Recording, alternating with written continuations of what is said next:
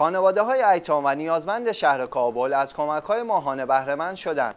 دارالایتام حضرت زهرا سلام الله علیها تحت اشراف مؤسسه امام هادی علیه السلام از مراکز وابسته به دفتر مرجعیت شیعه آیت الله العظما شیرازی در شهر کابل پایتخت افغانستان کمک های ماهیانه خود را بین خانواده های ایتام و نیازمند تحت پوشش این مرکز توضیح کرد.